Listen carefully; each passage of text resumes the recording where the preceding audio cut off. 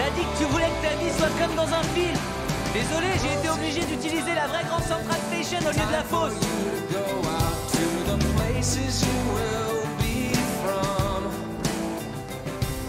Écoute, Jamie, j'ai... J'entends pas ce que tu racontes J'aurais dû prévoir cet inconvénient. Je crois que dans les films, le mec ouvre son cœur et ils mettent la musique après. J'ai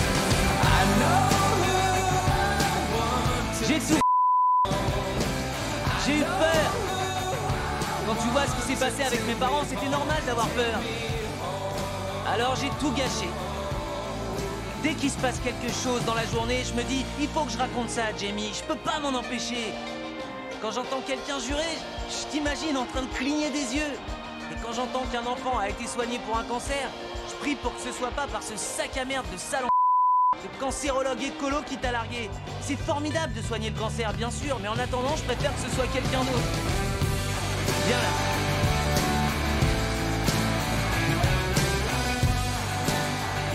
Hey, tu me manques. Mais tu me manques, toi aussi. Mais, mais t'as pas tort, je suis perturbée, je le sais. Mais moi aussi, qui ne l'est pas? C'est ce qui fait tout notre charme. Ça et nos tatouages. Oui.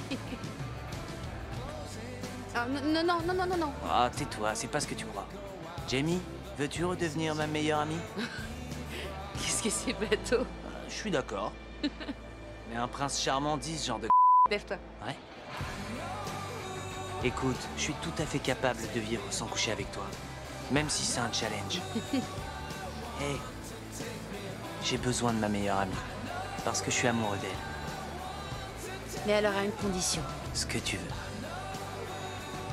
Embrasse-moi. En public Devant autant de monde Je t'ai pas demandé non plus.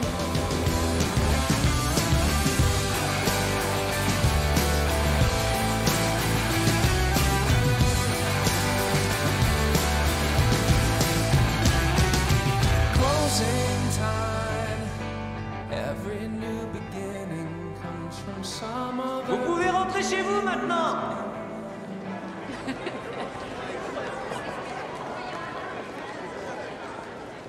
like. No.